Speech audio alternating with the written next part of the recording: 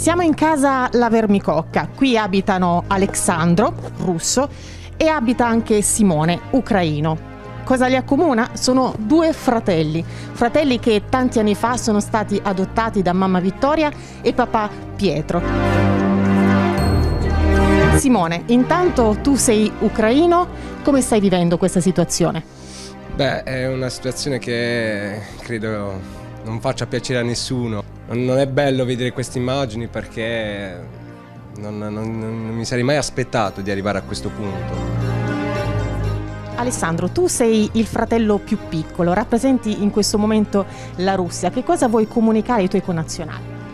Sì, intanto concordo con eh, le parole di mio fratello, penso che in questo periodo, ormai nel 2022, parlare ancora di guerra è un, qualcosa di indecente. Simone, hai qualche ricordo di Kiev, dell'Ucraina in generale? Comunque dei bei ricordi, anche se, ripeto, erano molto sfocati e, ehm, e mi fa molto male vedere le foto eh, di com'era e di com'è oggi purtroppo l'Ucraina.